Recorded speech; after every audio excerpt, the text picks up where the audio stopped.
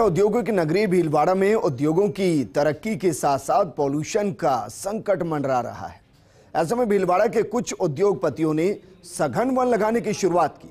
समाज सेवी विनोद मिलाने की पहल पर अपना संस्थान का गठन किया गया और औद्योगिक इकाइयों के आसपास खाली पड़ी भूमि में सघन वन लगाने का काम किया गया।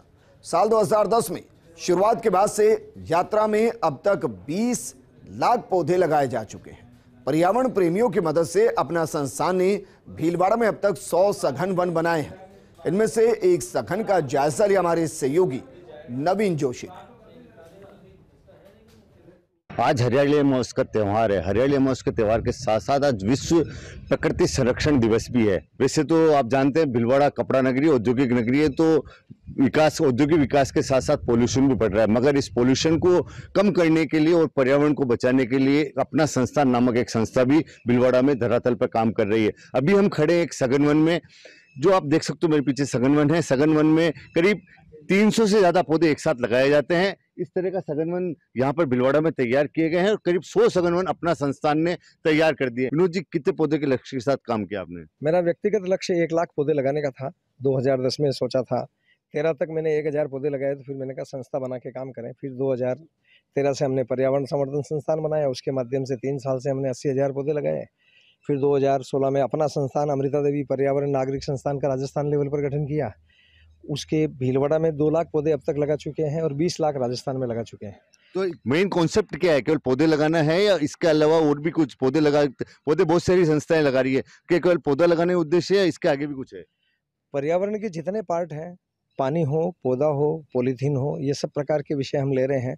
लेकिन सर्वाधिक विषय अभी पौधे पर कंसंट्रेशन करने से ऑक्सीजन वाला समस्या, वायु प्रदूषण वाली समस्या वाटर लेवल जो नीचे जा रहा है, उसकी वाटर प्योरीफाई वाला विषय, ये सारे विषय इससे कवर हो रहे हैं। जैसे बायोडाइवर्सिटी वाला विषय है, कभी पक्षी नहीं मिल रहे हैं, फल खाने वाले 80 परसेंट पक्षी समाप्त हो गए हैं। तो इसके लिए जैव विविधता के लिए सब जो इसके जानकार लोग हैं भारत राजस्थान के एक्सपर्ट लोग हैं उनकी राय ये है कि विविध प्रकार के पौधे लगाओ। पक्षी को बारह महीने खाने को नहीं मिल रहा, ये समस्या हो रही। तो फिर हमने एक सघन वन का कंसेप्ट मियावा की जंगल जापान का जो है वो कंसेप्ट हमने एडोप्ट किया एक सघन वन में। कितने पौधे लगते हैं? एक सघन वन में 300 पौधे लगते हैं 1000 स्क्वायर फीट लैंड होती है लगभग 30 से 40 वेराइटी लगाने का प्रयास करते हैं छायादार फलदार झाड़ी सभी प्रकार के। और एक साल में 10 साल का सघन वन खड़ा होता है दो साल में 20 साल जितना बड़ा जंगल दिख रहा है। और हम देख करके आए हैं आज भी देख सकते हैं कोई भी आवे भिलवाड़ा उनका वेलकम है। इसमें सड़ते वगैरह भी कुछ कड़ी रख रखी बताते हैं अपना संस्थान ने। क्या ऐसी कड़ी सड़ते हैं? तो आम आदमी आपसे बचता भी है और कुछ लोग जो धरातल पे काम करने वाले वो ही जुड़ते हैं।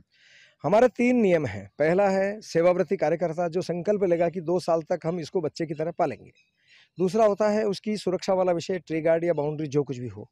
और तीसरा होता है, सेवा रूप में पानी, उसकी जल सेवा मान लीजिए आप।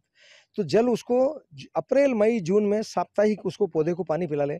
ये शर्तें होने के बाद ही हम गड्ढा खोदना शुरू करते हैं ये था हमारे बीच में विनोद मिलाना, जिनका कहना है कि सघन वन लगाने के बाद में अच्छे सुखद परिणाम आ रहे हैं। उनका उद्देश्य केवल पौधे वितरित करना नहीं, निःशुल्क पौधे देने के साथ साथ में एक संकल्पित पर्यावरण कार्यकर्ता और सेवा सेवाभावी तैयार करना भी उनका एक उद्देश्य है, जिससे न केवल पौधा लगाने के बाद में भूल जाने वाले लोग मिले, बल्कि आने वाले समय में लंबी समय तक एक पौधे को पेड़ में परिवर्तित करने वाला संकल्पित कार्यकर्ता मिले, जिससे वास्तविक और धरातल तौर पर पर्यावरण संरक्षण हो सके। नवीन जोशी, कैमरा पर्सन, लक्की वैष्णव के साथ फ़र्स्ट इंडिया न्यूज़, भिलवाड़ा।